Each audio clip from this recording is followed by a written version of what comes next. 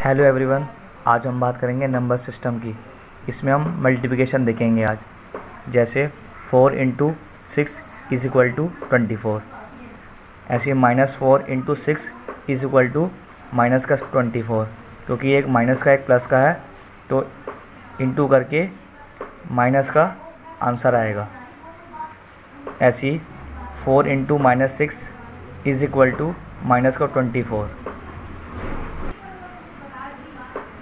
क्योंकि एक माइनस का और एक प्लस का है, इसलिए इंटू करके माइनस का ट्वेंटी फोर आएगा।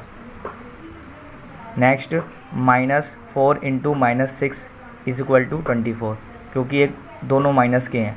तो माइनस के माइनस से मल्टीप्लाई हो जाएगी तो क्या आंसर आएगा?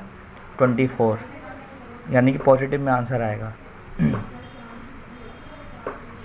Next four into zero is equal to zero, यानी किसी भी नंबर की ज़ीरो से मल्टीप्लाई होगी तो हमेशा ज़ीरो ही आता है।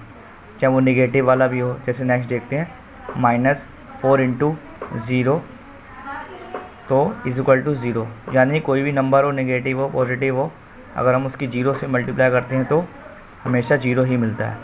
Okay thanks for watching channel okay thank you everyone